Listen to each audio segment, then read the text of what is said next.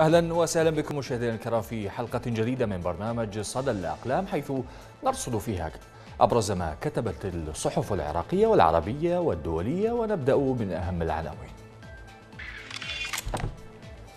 جاء في موقع الهينت حقوق الإنسان النيابية تقر بأن الفشل الحكومي هو أهم أسباب ارتفاع معدلات الانتحار في العراق وفي المدى عبد المهدي بصريون يشكون تلوث المياه وغياب الخدمات وجاء في الحياة زعيم داعش يظهر بعد خمس سنوات ويهدد بمعركة استنزاف. جاء في جزيرة طرابلس تستعصي على حفتر مواقف دولية جديدة بشأن معارك ليبيا. ونقرأ في العرب الجديد الضرائب وتراجع سعر النفط ينهكان موظفي الخليج. ونقرأ في العرب اللندني إغلاق مضيق هرمز خطوة انتحارية يدفع باتجاهها صقور إيران. ونطالع أخيرا وليس آخرا في البصائر. مراقبون مفهوم سيادة الدولة غائب عن العراق منذ 2003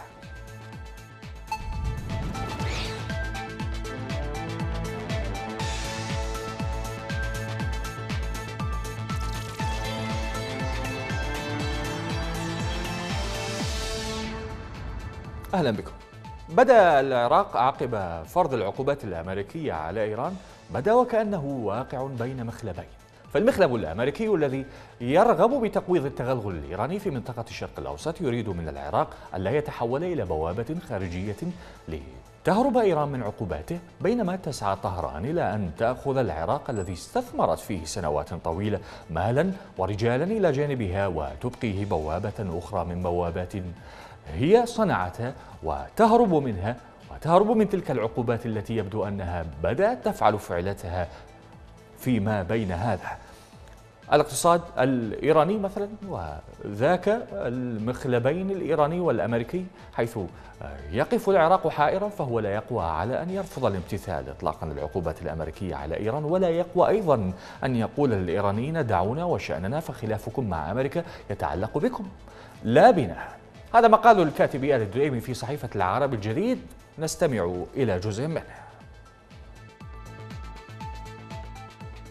لا خيارات كثيرة أمام العراق. فالولايات المتحدة إذا ما قررت تصعيد مواجهتها مع إيران فإن على بغداد أن تمتثل وإلا فإن العصا الأمريكية الغليظة ستكون قادرة على أن تقلب الطاولة على رؤوس ساسة العملية السياسية. وخصوصا أن التصريحات الصادرة من السفارة الأمريكية في بغداد وما أعقبها من تحركات عسكرية للقوات الأمريكية في العراق تؤكد أن هناك تصعيدا أمريكيا محتملا تجاه إيران في العراق. أما إيران فإنها وإن لم تلجأ إلى المواجهة المباشرة مع الولايات المتحدة في العراق لن تقف مكتوفة الأيدي ولن تعدم وسيلة مضايقة للولايات المتحدة. وهي التي تمتلك اوراقا كثيرة لتلعب بها غير الأوراق العسكرية. فهناك الحكومة التي يمكن أن تعرقل إيران عملها من خلال النواب الذين يرفضون ما يحصل لإيران. وهناك ورقة الشارع التي ما زالت إيران تعتقد أن لديها القدرة على تحريها من خلال بعض الزعامات الدينية والسياسية والحزبية. لا تبدو الخيارات كثيرة أمام العراق الذي وقع بين مخلبين أمريكي وإيراني. وكلاهما مفترس. غياب الدولة بمفهومها السيادي عن عراق ما بعد 2003 جعل التركة ثقيلة جدا لكل من يتصدى للعمل السياسي في هذا البلد. وربما بات من الواجب أيضا على ساسة العراق أن يبحثوا عن كيفية تمكنهم أولا من استعادة السيادة المفقودة قبل الحديث عن الخروج من المأزق والصراع المتفجر بين أمريكا وإيران.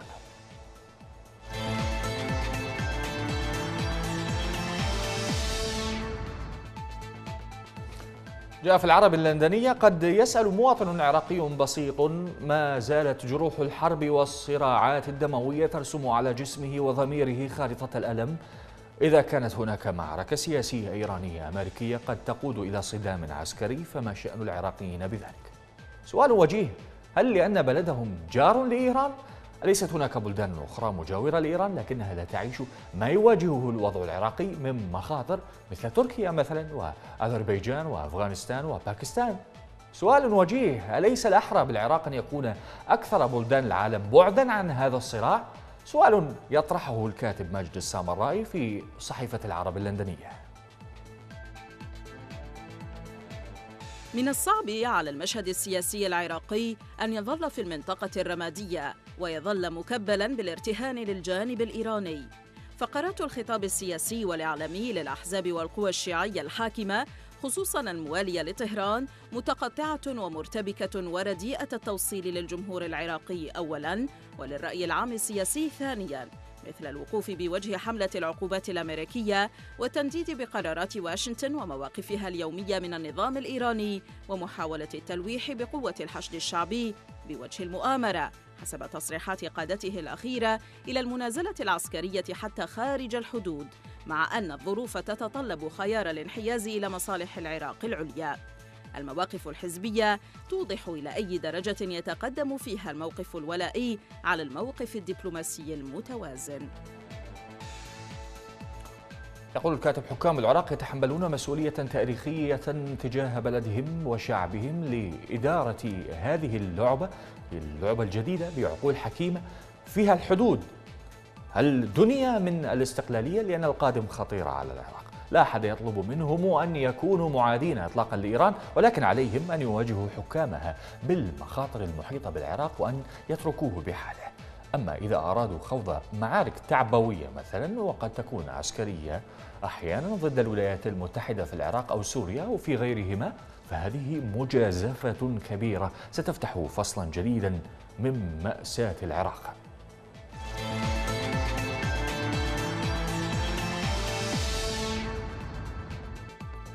جاء في القدس العربي منذ أن بدأت حملة التهيئة لشن الحرب على العراق في أعقاب الحادي عشر من سبتمبر. وقائمة الكتب الأمريكية البريطانية عن العراق في تزايد مستمر. وبعد أن كان عامة الأمريكيين والبريطانيين لا يفرقون أصلا بين العراق وإيران. إذ حالما تخبرهم أنك من العراق يأتيك التساؤل إيران؟ أصبح العراق بلدا يتصدر قائمة الأخبار والمطبوعات. خاصة حين سارع مهندسو الحرب إلى تحشيد الأجواء الدعائية النفسية لتقديم صورة للبلد تسوغ إرسال قواتهم للقتال فيه والتضحية بحياتهم. من آه، بداية الأحداث في العراق عن تاريخ الاحتلال الأمريكي وما حدث في العراق حيث كتبت هيفا زنجنة في صحيفة القدس العربية. من بين الكتب التي لاقت نجاحا بعناوين تدل على مضمونها زمن القتل بالعراق بوابة قاتل بالعراق. كنا واحدا جنبا إلى جنب مع مشاة البحرية الذين دخلوا الفلوجة. وفي الرمادي القصة المباشرة لمشاة البحرية الأمريكية في أكثر مدن العراق دموية. وتمنح دور النشر مساحة كبيرة للجنديات اللواتي يكتبن مذكراتهن. إذ نشرت لهن عناوين على غرار أحب بندقيتي أكثر مما أحبك شابات في الجيش الأمريكي وعصبة شقيقات أمريكية بالعراق. المفارقة الكبيرة التي نراها عند اطلاعنا على حمى نشر هذه النوعية من الكتب هي أن نشر الكتب العاطفية ببطولة مقاتلين أو مرتزقة بالإضافة إلى نشر المذكرات التي تسلط الأضواء على مفهوم البطل الجندي الذي يضحي بحياته من أجل نشر القيم الديمقراطية.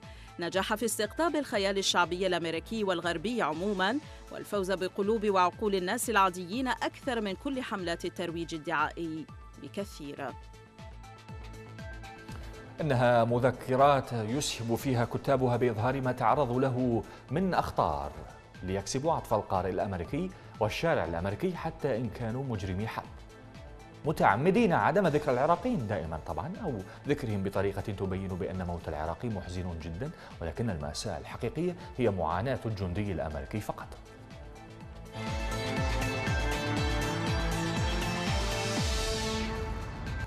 جاء في موقع كتابات سؤال مشروع يخطر على ذهن أجيال من أمثالنا واكبت نضالات الطبقة العمالية في مراحل تاريخية سابقة. كانت الأنظمة تحسب ألف حساب لصوت هذه الطبقة التي قدمت التضحيات الجسام وهي تطالب بتحقيق العدالة والمساواة والحياة الكريمة للبشرية جمعاء أصوات عمالية ومعها كل الشعب. رفضت الاستغلال والتبعية والظلم والذل والخنوع عن عيد العمال في العراق كتب طارق الجبوري في موقع كتابات.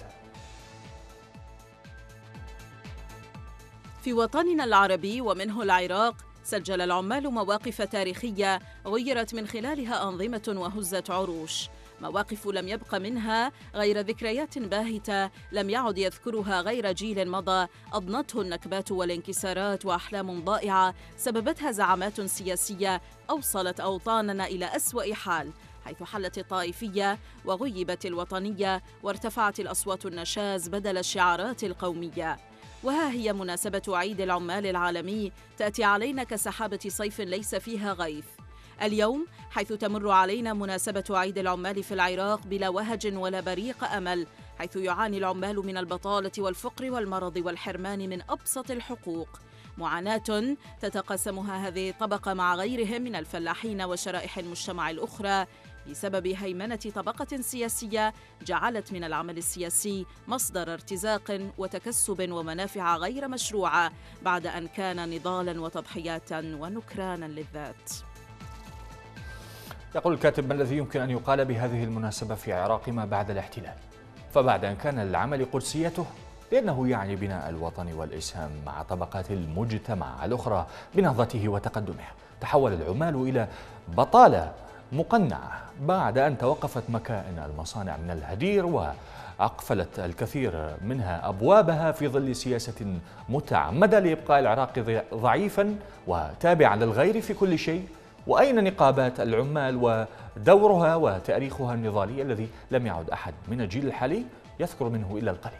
سؤال وجيه. وهل ما يجري من تعتيم على نضالات الطبقة العاملة العراقية صدفة أم عن سبق إصرار وترصد وتخطيط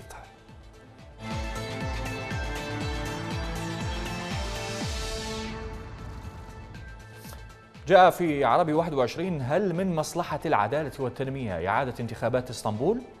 سؤال يطرحه الكاتب في مقال بموقع عربي 21 وهو الكاتب سعيد الحاج حيث يقول مر شهر كامل تقريبا على إجراء الانتخابات البلدية التركية وأعلنت النتائج النهائية الرسمية من قبل اللجنة العليا للانتخابات إلا أن عملية الطعون المقدمة من الأحزاب المختلفة لم تنتهي تماما وخصوصا في إسطنبول. الأول محاولة جدية لتغيير النتيجة باعتبار أن الفارق في الأصوات بين المرشحين لم يكن كبيراً. الثاني العمل على تخفيف حدة الصدمة من النتائج إن كان على صعيد أنصار الحزب أو حتى على صعيد الأوضاع الاقتصادية في البلاد. من خلال مد الفترة الزمنية قبل إعلان النتائج إلى الحد الأقصى. الثالث محاولة تبهيت فوز المعارضة والتقليل من حدته وتأثيره قدر الإمكان. من خلال عدم حسم نتيجة إسطنبول سريعا باعتبارها الأهم والأكبر بين البلديات. وبغض النظر عن مدى قدرة الحزب على تحقيق هذه الأهداف إلا أنه ما زال مصرا على استخدام كافة حقوقه القانونية حتى آخر الشوط منتظرا قرارا نهائيا من لجنة الانتخابات. لكن السؤال الأهم هنا إلى جانب ماهية قرار اللجنة هو إذا ما كان قرار الإعادة في مصلحة الحزب في المقام الأول وجوابي هو ليس بالضرورة لأن الأمر يتعدى نتيجة الانتخابات وإمكانية تبدلها. طبعا الكاتب يتحدث عن انتخابات إسطنبول يعني هل من مصلحة العدالة والتنمية على الانتخاب في إسطنبول؟ سؤال وجيه حيث يقول الكاتب أن إعادة الانتخابات تفقد تركيا وحزب العدالة والتنمية شيئا من الانطباعات الحسنة التي كسبها في هذه الانتخابات. إشادة, مخ... إشادة مختلف الأطراف بها حتى ولو كانت إشادات مبنية على تراجع العدالة والتنمية فيها. كما أن صدور آه، نتيجة معاكسة للحالية في الإعادة قد يضعف الثقة باللجنة العليا للانتخابات والمسار الديمقراطي في البلاد بشكل عام خصوصا إذا ما اعترضت عليها المعارضة وهو أمر متوقع.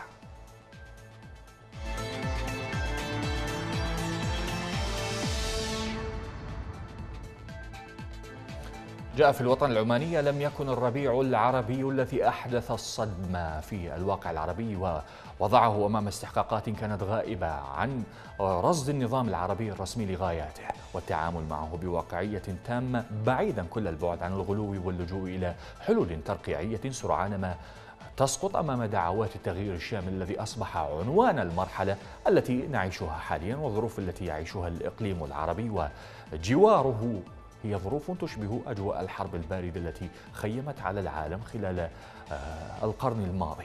عن الربيع العربي واستحقاقات المرحلة الحالية كتب أحمد صبري في صحيفة الوطن العمانية. من هنا فإن الاستعانة بالعامل الخارجي أصبح هو الخيار الحاسم في مسار الأحداث في ليبيا واليمن وسوريا.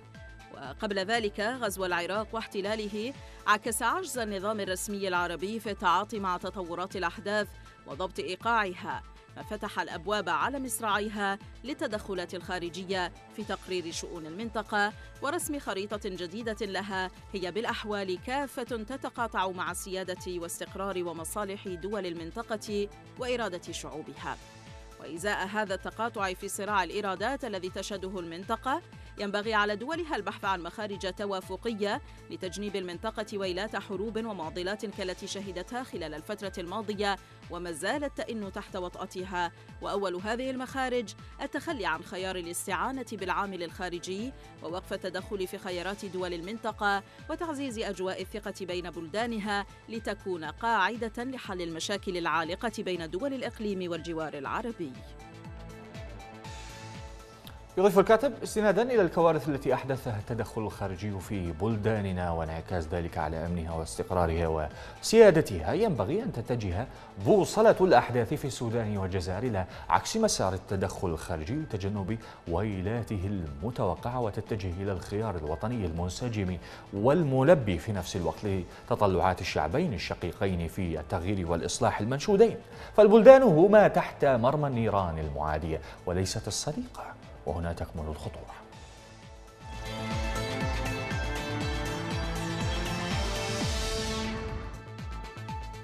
بعيدا كل البعد عن السياسة كشفت دراسة حديثة صادرة عن كلية روز نيستل للعلوم البحرية والجوية بجامعة ميامي ونشرت بمجلة مارين Pollution Bulletin أنه يمكن الاعتماد على تحليل دم أسماك القرش الأبيض الكبيرة لاستخدامه مؤشرا لصحة النظام البيئي البحري الذي تعيش فيه. ووجد فريق الباحثين تركيزات عالية من الزئبق والزرنيخ والرصاص في عينات الدم التي تم الحصول عليها من أسماك القرش الأبيض الكبير بجنوب إفريقيا. وقد كانت العينات تحتوي على مستويات تعتبر سامة للعديد من الحيوانات. جمع الدم المستخدم بالدراسة من 43 سمكة آه، سمكة قرش بيضاء تم التقاطها قبالة ساحل جنوب إفريقيا في عام 2012 وقد تم رفع كل حيوان مفترس بعناية على منصة خاصة. مما سمح للعلماء بأخذ عينات من الدم وقياسات أخرى وذلك قبل وضع علامات على الأسماك وإعادتها سالمة إلى موطنها في المحيط. وتفيد هذه الدراسة في إنشاء خط أساس مرجعي لمستويات المعادن الثقيلة الموجودة في دم أسماك القرش الأبيض بجنوب إفريقيا. كما أنه يمكن القيام بأبحاث مستقبلية للاستفادة من خاصية أسماك القرش البيضاء تلك في تحمل آثار المعادن الثقيلة.